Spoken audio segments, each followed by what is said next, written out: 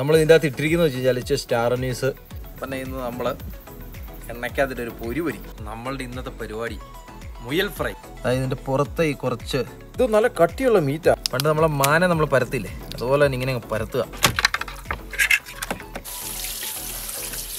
അപ്പോൾ ഇതാണ് നമ്മുടെ ഏറ്റവും വലിയ മുയൽ അപ്പോൾ ഇനി ഇതൊരു ഒരു മണിക്കൂർ നമ്മൾ നന്നായിട്ടൊന്ന് റെസ്റ്റ് ചെയ്യാൻ വെക്കണം. ഇനി പാത്രത്തിൽ കൊള്ളുന്നുള്ള ഒരു സംശയമുള്ള പിന്നെ അപ്പം മൂന്നാമത്തെ മുതലും ഏകദേശം നല്ല കിടിലമായിട്ട് വന്നിട്ടുണ്ട്. അടിപൊളി. ഓ സൂപ്പർ കേട്ടോ.